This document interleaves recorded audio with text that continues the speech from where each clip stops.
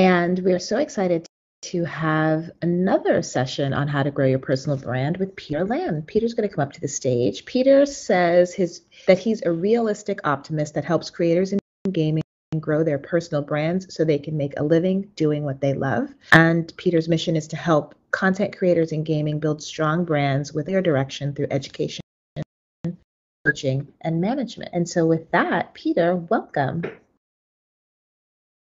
Hello. Hi. How's everyone doing today?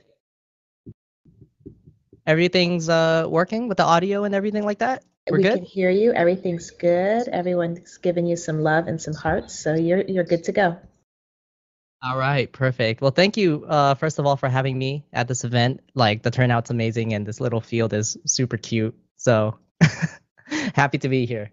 All right. Uh so yeah, I'm here to talk about personal branding. I think it's something that is super important within this industry because personal branding to me there are a lot of different definitions but the one that i really am a fan of is by someone named marty neumeier and his definition of brand is that it's a person's gut feeling about a company service or product. And so if we change it to the perspective of a personal brand it's bas- it's basically a person's gut feeling about who you are right?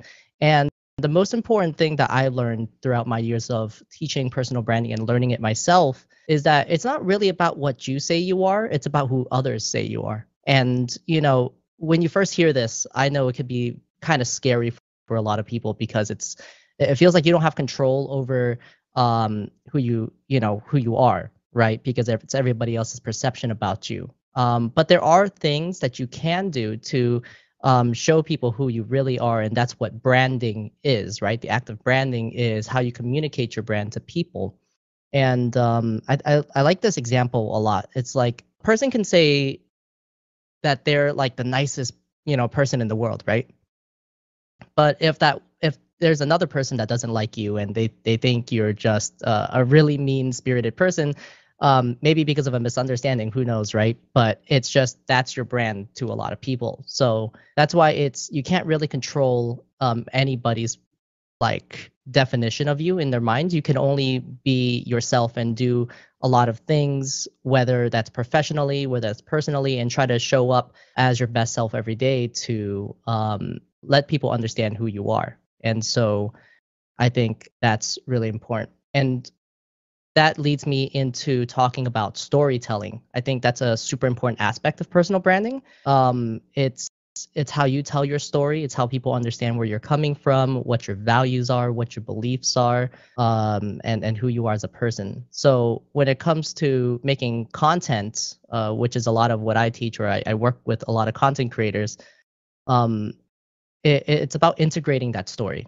right? Where you started, and where you are now and where you're trying to head into the future, right? And so where I started, for example, is in esports production, and I worked with a lot of pro players, and uh, you know I love them because I'm a competitive player myself. But then I realized that a lot of them were kind of shy in their own right, or they were just trying to focus on being the best. And unfortunately, being the best at the game isn't isn't enough in this industry and so you really got to show yourself right? Uh, so other people can know who you are and become fans of you and you become marketable. So that's why i started on my journey um, you know after covid to try to help professional players uh, really show themselves in the best light to people build a fan base build a community and help them become more marketable. And that led me to talking to more content creators figuring out that they had the same problems and that's why ultimately I decided to um, transition out of production and into education to helping people. And so you see, with that very simple um, shortened version of my story, you could kind of get a sense of like where I'm coming from, why I'm doing the things that I do, who I do it for, and and why it's important to me and and the people that I'm trying to serve. Um, so and to to do part of that is, is marketing. You know, I think um, branding a huge part of it is not only trying to like be yourself to the fullest right wear what you like to wear and talk how you want to talk and, and be yourself fully but then if no one can see that then it's really hard for anyone to actually find you and so that's kind of where marketing comes into place something that's kind of interesting about marketing um, is that a lot of people feel uh, there's like a negative stigma with marketing. You know, it, it, feels like to a lot of people pushing a message in people's faces.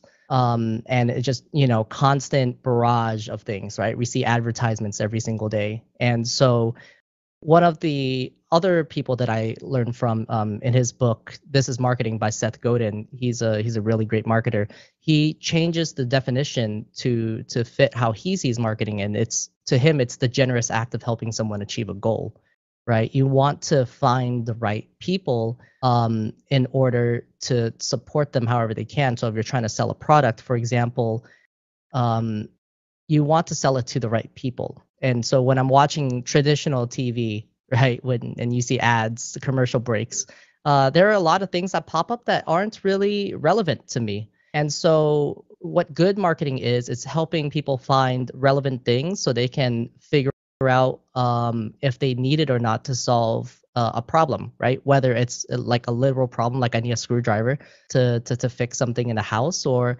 if it's um, a more intrinsic problem, you know. So that's another concept that really ties well in with branding and what, what you're trying to do. So whether you're an industry professional where you're trying to um, you know, it's hard for me to come up with examples. Um, but if, if you're trying to do an activation serving a specific community, uh, like the GameHers does, it's like how do we find the people that we're trying to serve and how do we help them right? And so that's marketing done right.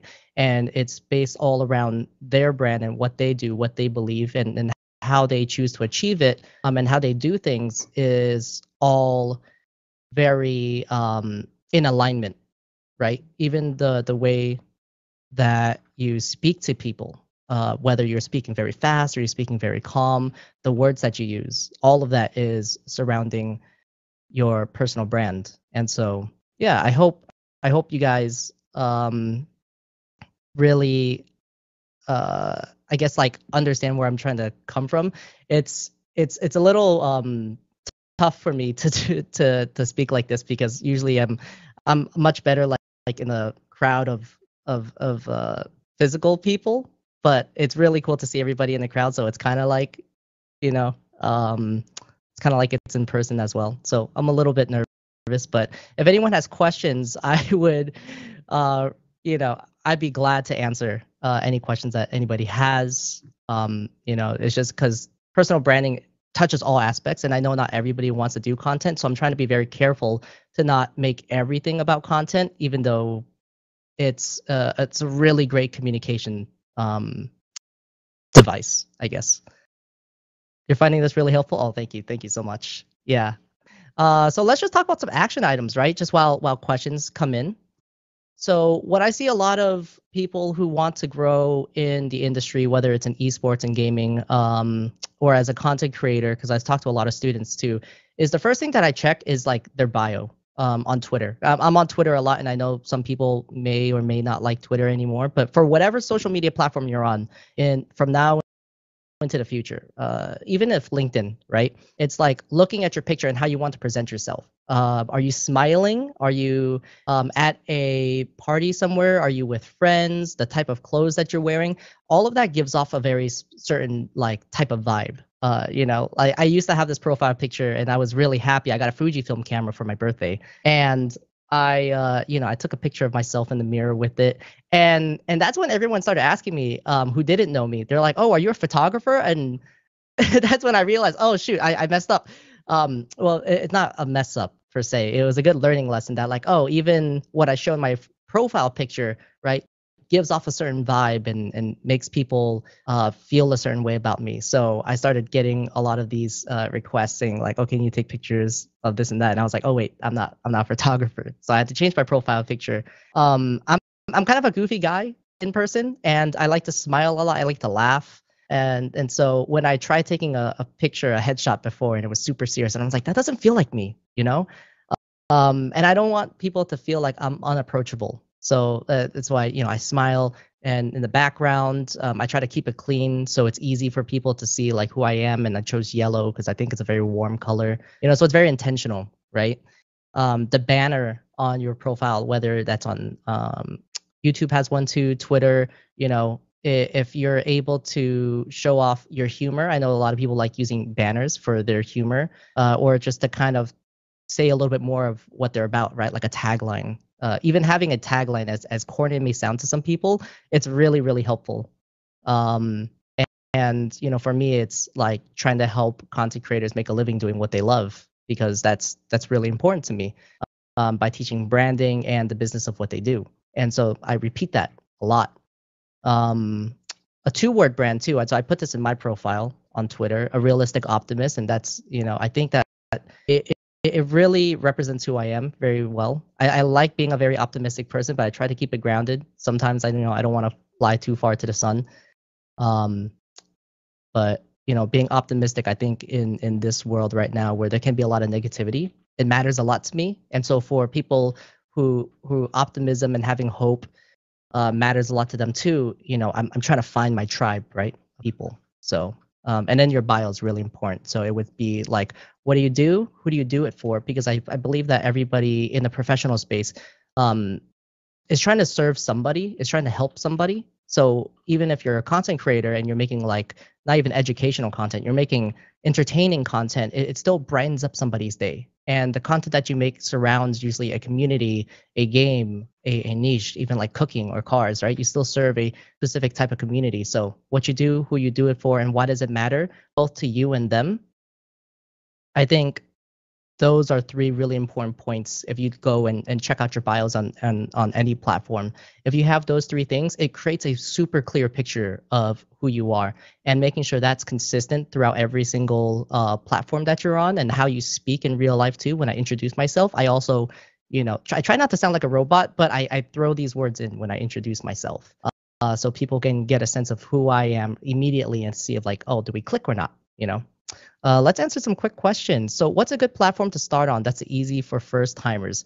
I think it really depends on who you are. So, if you're like a creative, right, and um, you know everything is like image based uh, or video based, right? So, if you're like a videographer, um, it definitely be like YouTube and Instagram, actually Twitter right now because I see that they're trying to double down on video content. That can work well.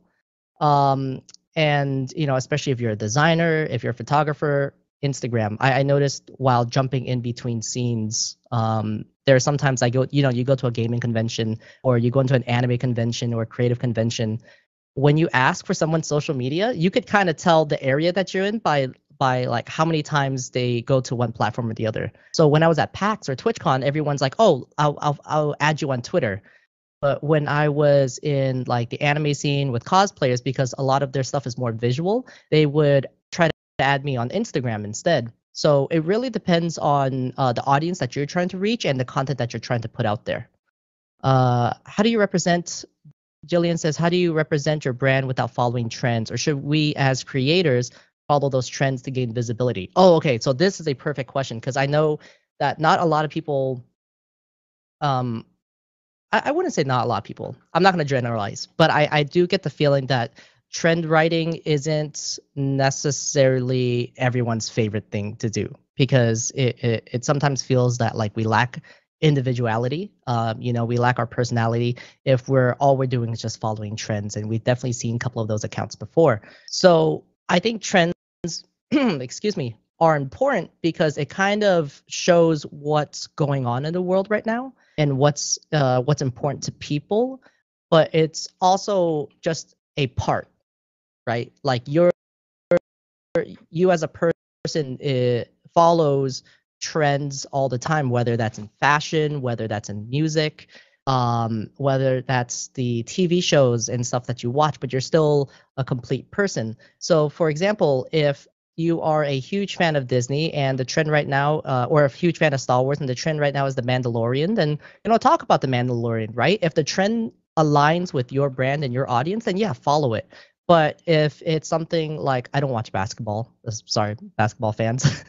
um, but if you know something about the NBA is going on right now, it's like super trendy and it's uh you know everyone's talking about it. I I won't talk about it because I don't I don't have any knowledge or or interest um, in that space. So you you choose the trends that you do want to follow, and it's just a part of of your brand. And if you if you can find alignment in it, then go ahead and talk about it. There's nothing wrong with following trends as long as you know the, the I'm gonna sound like a broken record, but as long as there's alignment. Um, and you need that to gain to gain visibility, yes, but also to try to find your tribe uh, for gaming creators, is it better to use a logo slash art of our real face? I'm not photogenic. I uh, I felt that way too. I think in my uh, in my early days, I, I used a um, you know a more stylized photo of myself, where I even used like an anime character that I felt like really represented me. Um, and I think it's fine to use a logo or art of your real face. I personally, um, because I like the human connection of seeing other people's faces. This is why this this whole crowd thing, this interface um, on the outdoor theater is like really cool for me because I get to see people, you know, and it, it gives me a certain vibe about everybody, uh, all these wonderful people here.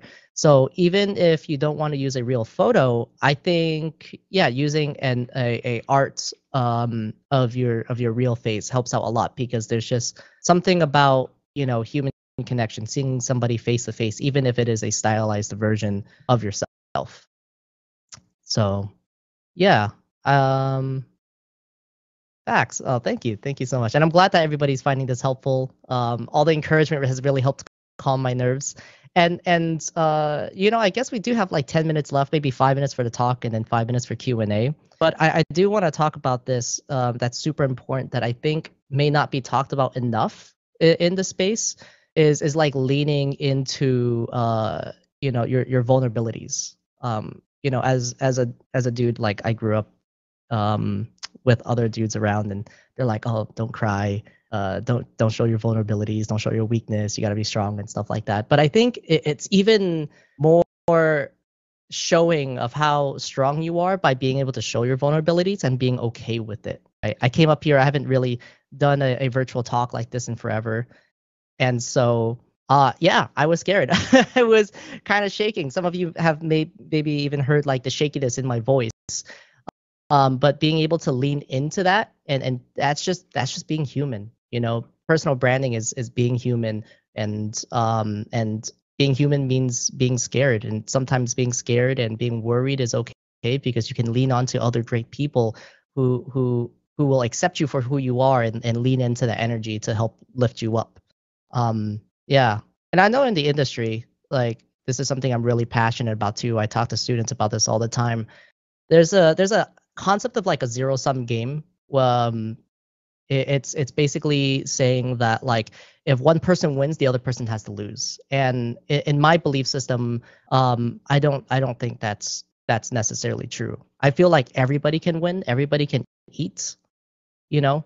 And so when when you do anything, um, making sure that other people are taken care of too will like help you out. So, and I'm trying to tie this in for with like your professional um, careers or even your career as a content creator. Like, sure, there are traditionally competitors in the space, right? People who may be gunning for the same job or people who are also a creator who has the same niche in your space. But there are ways to collaborate with people and lift each other up. And even if you might not get the job, if you help another person, um, it, it will come back. I, I believe in karma too. It will come back around to to help you out too. So just and that shows you know what you're willing to do. Um, I know a lot of people may want to come in and you know try to climb up and be the best at whatever they do when there's nothing wrong about that but when you when you do it in a way that like steps on other people um you know well, when I say you, I don't mean anybody in this crowd. but but when when people do do that, like they notice, you know, people take notes. Um, they don't, they may not talk about it, but people talk and they take notes. And um, I I know that that's where you you realize like what part of the crowd that you want to be in. Um, because it's like, oh, these are my type of people, you know. So yeah. Uh, your authenticity authenticity about being nervous on this platform is so inspiring. Thank you for sharing it. It's hugely motivating. Well, you're you're very welcome. Yeah, so I guess um I'm up for any more questions. I'm up here for like eight more minutes. Uh oh wait, we have someone. Oh, that's that's Verda. Verda. I'm just hi, Verda. I, am here to say hi. How are you? This has been I'm so fine. awesome. I wanted to t- awesome. see if anyone wanted question. come up on stage and ask it. Let's let's do that. I love I love questions. Um, Murphy, with question apparently. If you have any questions yourself, I I would love to to answer it, or we could have a little back and forth for the last few minutes. Yeah, well, I mean, I, I really appreciated one the authenticity um, and vulnerability, which I think hard for people to lean into. So, do you have any um, tactics for people to do that? Right, like what is it? How do you do that on your social media or for your personal brand strategies? Oh, okay. All right. Thank you very much. This helps out a lot. So, when I first started this journey, I tried to be the person that like knows everything because I did not want to seem um, like a fraud in front of people. I didn't want to seem stupid in front of people, meaning I didn't want to I didn't want to make mistakes on social media, right? It feels like everyone's watching you. And that just made me come across as a robot. Every once in a while, uh, if I have like information that I learned from reading a book or watching a YouTube video, because that's honestly all I do, or listen to podcasts, I would share it in a very straightforward format that's just informational, straight up information. Um, and I realized that sometimes that yeah, it, I still come off as like a robot, but I I've learned that the things that impact people the most um, that I've seen like real impact, not like social media metrics or engagement, but real impact is when I do talk about my story. And so if you have something that you want to share and you want to build expertise in it, um, and you want to become a resident expert, right, and teach other people, um, you know, it, it, it's one thing to share what you've learned and your sources, like I did with Marty Neumeier um, or or um, Seth Godin, or even my mentor Chris from the Futur. Um, but it's another thing to do those things first and then share your experiences, um, the ups and the downs, right? A lot of people say that social media is like just a highlight reel of your best moments. And I think it should also be a highlight reel of your lowest moments because that's where the real learning lessons come from. That's where the growth comes from as well. And so when I share information now, I try to tie a story, a personal story into it, and if not, somebody else's story, um, so that people can latch onto that and and find relatability in the information on like how to improve, how to make content, how to build business fundamentals. Because um, everybody has a lesson, um, and everyone still can learn. Thank you so much for that. It's so true, and it's and it is a hard thing to um, so, if there was one thing that you want to leave everyone that's here in this outdoor theater with before you were to leave, what would that be? And also, how can they find you? Hmm. I think on the topic of personal branding, it's a huge it's a huge like self-reflection exercise um, every single day if you really want to grow your personal brand and lean into it and find a community, a tribe of people, and make like big impact in the world, uh, or not even in the world, like maybe in a community of five, ten, you know, um, a hundred people, right?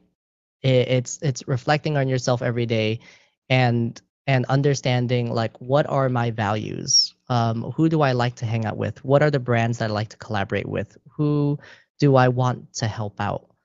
And when you reflect on yourself, um, you know, I do it every day. I don't know how tiring it gets to to to be reflective, but you know, that's probably the biggest um, tip I can give to people to to take away from this is just by like writing everything down on a piece of paper and and trying to figure out okay if this is what i want out of life and this is how i want to leave this earth um um, for the people that are that are still here, uh, what can I do, and how can I help? So that's that's probably the the biggest thing that I have. And if people want to find me, uh, you could find me mostly on Twitter. Um, at Xenos King, X E N O S K I N G, uh, or you could just type in Peter Lam, and I'm pretty sure I'll pop up. You could find a, you know, my my picture with the yellow background. Um, Twitter is where I'm most on, and I'm going to be starting to ramp up content soon to to teach what I know and share my stories uh, on YouTube, and that's youtube.com slash hanseigg, H-A-N-S-E-I-G-G.